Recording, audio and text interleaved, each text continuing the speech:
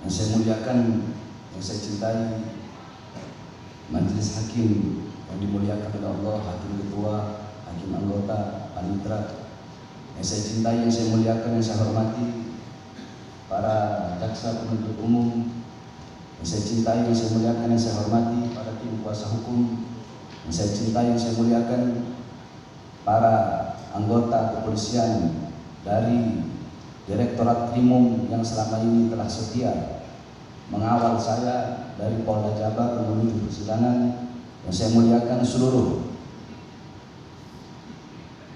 kepolisian dari Polres Bandung yang telah mengawal persidangan ini dari awal sampai akhir sehingga berjalan dengan aman dan khususnya yang saya cintai yang saya muliakan kepada seluruh umat Islam yang telah setia hadir setiap sidang untuk mendukung saya.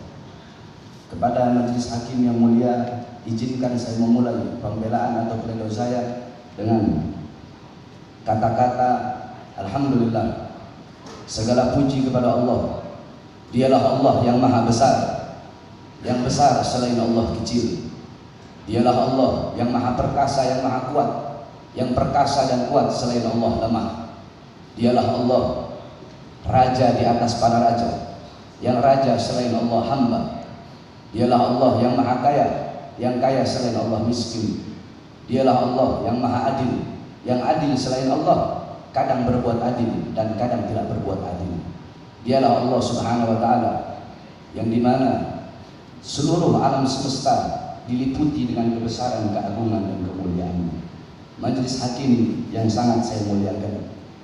Memang betul Indonesia bukan negara Islam bagi saya Pancasila adalah harga mati. Bagi saya Undang-Undang Dasar 1945 adalah harga mati. Akan tetapi tidak bisa kita nafikan bahwasanya bagi setiap warga Indonesia yang beragama memiliki hak untuk menjalankan apa-apa yang diwajibkan atau dilarang oleh agama tersebut. Nah, izinkan saya membawa ayat-ayat sedikit dan sedikit hadis serta sedikit pendapat para ulama yang berkaitan dengan uh, adanya persidangan ini. Yang pertama, Allah Subhanahu wa taala berfirman dalam Al-Qur'an, "Kuntum khairu ummatin ukhrijat lin-nas, ta'muruna bil ma'ruf wa tanhauna 'anil munkar." Yang artinya kalian adalah umat terbaik yang Allah keluarkan bagi seluruh umat manusia, menyeru kepada kebaikan dan mencegah kepada kemungkaran. Yang pada intinya menurut Al-Imam Ibnu Jarir At-Tabari dalam kitab tafsirnya bahwasanya ciri umat Islam terbaik adalah umat yang menyeru, memerintahkan kepada kebaikan dan mencegah kepada kemungkaran.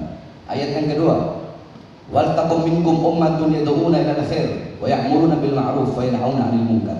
Hendaklah ada dari kalian wahai umat Islam sekelompok golongan yang menyeru kepada kebaikan, mengajak kepada kebaikan, memerintahkan kepada yang ma'ruf dan mencegah daripada yang mungkar. Menurut tafsir Al-Imam Jalalain, uh, Imam Jalaluddin Al-Mahalli dan Al-Imam Jalaluddin Asyuyuti, begitu juga tafsir Anwarul Tanzil Al-Imam Baydawi, begitu juga dalam kitab tafsir Madarikut Tanzil Al-Imam An-Nasafi yang memang disebutkan bahwasanya bahwasanya dari kedua ayat tersebut di situ disebutkan bahwa ciri umat yang terbaik adalah yang menyeru kepada kebaikan dan mencegah daripada kemungkaran. Tetapi menurut beliau-beliau banyak yang bisa menyeru kepada kebaikan, tetapi jarang yang bisa mencegah daripada kemungkaran. Itu yang pertama menurut ayat Al-Quran. Yang kedua, menurut hadis Nabi Muhammad, ya, majlis hakim yang saya muliakan, Gala Rasul Nabi Muhammad SAW bersabda, Man ra'a minkum mungkaran fayughayyiru biyadih, fa idza lam yastati fa bi famih Fa'idal mesati fabigalbih fabidhalika adaful iman. Apabila kalian wahai umat Islam melihat suatu kemungkaran, suatu maksiat, suatu perbuatan dosa, suatu kemudaratan, maka cegahlah maksiat itu dengan tangan kalian. Apabila kalian tidak sanggup dengan tangan, maka cegahlah dengan mulut. Apa kalian tidak sanggup? Apabila kalian tidak sanggup dengan mulut, maka cegahlah dengan hati. Maka mencegah dengan hati itulah paling lemahnya iman. Nah, dalam kitab Fathul Bari dijelaskan bahwasanya hadis tersebut memiliki arti. Orang yang kuat imannya adalah yang di mana ketika dia melihat kemungkaran dia mencegah kemungkaran itu dengan tangan terlebih dahulu. Apabila tidak sanggup baru dengan mulut yakni nasihat. Kalau tidak sanggup baru dengan hati yakni berdoa. Sebagaimana dicontohkan oleh Nabi. Di zaman Nabi Muhammad ada Musailamah al-Kadzab, Nabi palsu. Bahkan Nabi Muhammad memerintahkan untuk membunuh Nabi palsu itu. Di zaman Sayyidina Abu Bakar As-Siddiq ketika beliau jadi pemimpin, beliau pernah berkata, "Laula laula apa, uh, uh, andaikan aku tidak mendahului engkau, maka sudah pasti aku bunuh." Maksudnya ketika itu ada seseorang yang ada seorang wanita yang menghina Nabi, ada satu sahabat memotong tangan wanita itu. Kemudian Sayyidina Abu berkata, "Laula sabab tadi la aktuluha." Kalau kamu tidak mendahuluiku, maka sungguh akan aku bunuh wanita itu karena telah menghina Nabi. Itu yang kedua. Di zaman ketiga, di zaman Sayyidina Umar bin Khattab, beliau juga pernah membunuh orang yang menghina Nabi. Di zaman Sayyidina Utsman bin Affan, beliau pernah membunuh orang-orang yang menghina Nabi. Kemudian yang kelima di zaman Sayyidina Ali bin Abi Thalib, beliau pernah memerangi orang-orang yang menganggap beliau sebagai Tuhan atau disebut dengan kaum uluhiyah. Jadi ada sekelompok golongan menganggap beliau sebagai Tuhan, beliau perangi.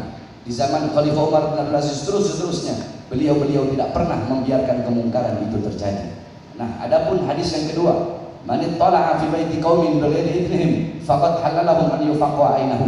Itu terdapat dalam kitab Marqutus Sulul Tasdid fi Syarah Sulul Taufiq yang di mana artinya barang siapa yang naik ke satu rumah atau mengintip-intip isi rumah seseorang maka sang pemilik rumah halal untuk mencolok kedua matanya para ulama mengartikan barang siapa yang mengintip-intip isi rumah orang maksudnya isinya barang siapa yang mengintip-intip anaknya mengintip-intip istri orang maka orang yang memiliki istri atau anak itu halal untuk mencolok kedua matanya ketika dia mencolok kedua mata maka dia tidak akan diberikan hukuman nah Jikalau mengintip-intip saja dihalalkan bagi seseorang itu untuk mencolok kedua mata orang itu, apalagi orang yang mengakui istrinya sebagai istri, apa mengakui istri orang lain sebagai istrinya. Itu hadis. Yang terakhir yang mulia menurut pendapat para ulama.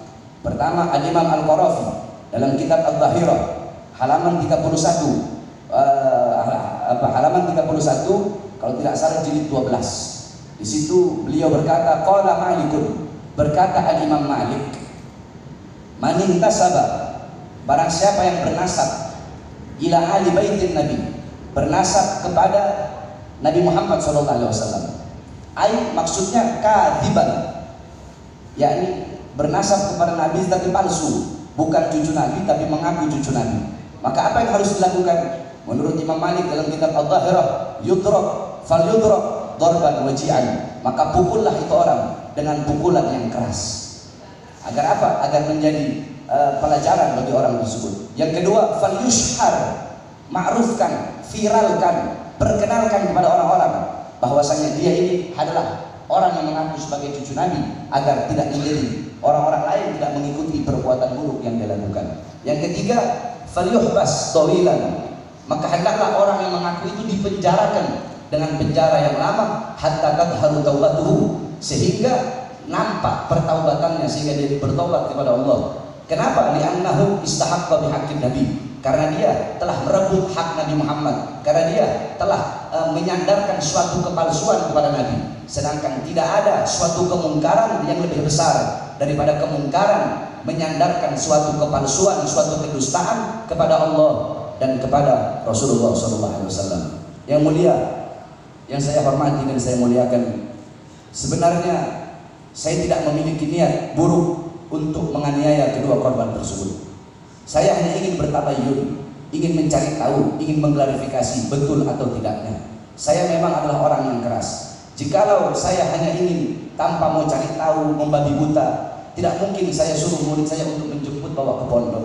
Padahal saya punya ratusan ribu murid di daerah Jawa Barat, apalagi Bogor. Kalau saya punya niat jelek, bisa saja saya suruh murid saya untuk menghabisi dia di jalan, tanpa mengotori tangan saya kalau saya punya niat jelek dan adapun kenapa saya tidak melaporkan kejadian tersebut yang mulia saya jujur karena saya kehilangan kepercayaan kepada para penegak-penegak hukum yang ada di Indonesia khususnya kepolisian karena selama ini kami membuat laporan tidak pernah ditanggapi adapun ketika kami yang terlapor secepat kilat dari saksi menjadi tersangka dari tersangka langsung ditahan oleh karenanya dengan alasan itulah kami tidak membuat laporan yang mulia yang dimuliakan oleh Allah Subhanahu wa taala.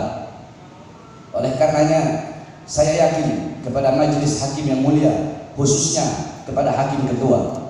Jikalau kepolisian bisa diintervensi, jikalau kejaksaan bisa diintervensi, tetapi saya sangat yakin bahwasanya pengadilan tidak bisa diintervensi oleh siapa pun. Dan saya yakin majelis hakim yang mulia khususnya hakim ketua tidak bisa diintervensi oleh siapa pun. Saya yakin majelis yang mulia tidak akan membenarkan yang salah walaupun yang salah itu kawan. Dan tidak akan menyalahkan yang benar walaupun yang benar itu tidak sejalan dengan majelis yang mulia. Karena apa? karena persidangan karena persidangan, karena hakim semuanya itu urusannya dengan Allah yakni berdasarkan ketuhanan yang Maha Esa. Maka saya tutup pembelaan saya ini yang mulia dengan pertama saya ingatkan diri saya sendiri. Saya mengingatkan diri saya wahai Bahar bin Smith segala yang kamu lakukan saya ingatkan diri saya.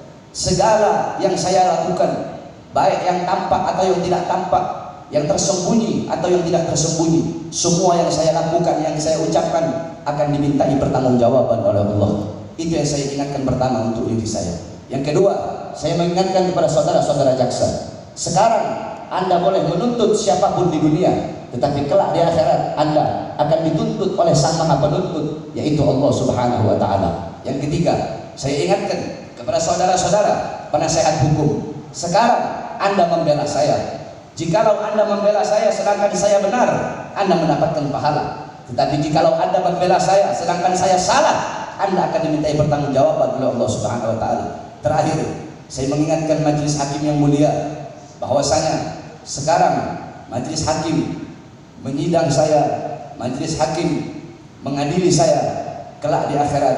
Saya eh, penasihat hukum, penuntut umum, hadirin dan majelis hakim, kita pun semua akan disidang di pengadilan Allah. Dan pengadilan Allah lah yang seadil-adilnya, pengadilan yang maha adil yaitu Allah Subhanahu wa taala.